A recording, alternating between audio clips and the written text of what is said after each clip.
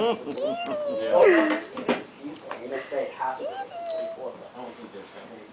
kitty. So hummus is gonna be there.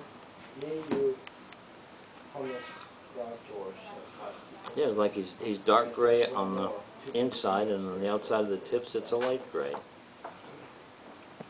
Oh, here we go.